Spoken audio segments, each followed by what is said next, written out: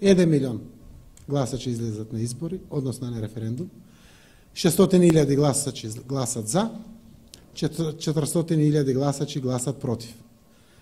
Таа одлука се преточува низ институциите на системот и пратениците сепак одлучуваат како ќе гласат. Веројатно, политичкиот притисок е јасен и треба да гласат за. Не ја предуцираме одлуката, пратениците може да гласат против, може да гласат за или слично. Коалиционото мнозинство и ова огромно мнозинство кое што го подржа референдумскиот процес ќе гласа за.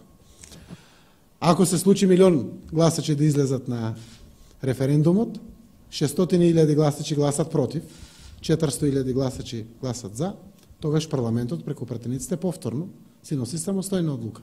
Затоа што граѓаните го дале своето мислење. Во таков случај, јас можам да кажам за парламентарното мнозинство, кое што го застапувам како прво извршната власт и председател на Социјалдемократскиот сојуз, ќе го поништи договорот со Грција. Ако се случи, теоретски, да излезат 850.000 гласачи. 650.000 гласачи гласат за, 200.000 гласачи гласат против. Во Уставот, ако го читате директно членот кој што го регулира референдумот, кажува дека се носи одлука во каков случај. При исполнет најмалку 50% од скупниот број на избирачи, каде што мнозинството гласале за самата одлука.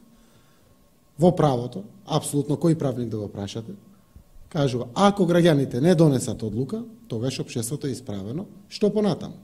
Понатаму продолжуваат институциите.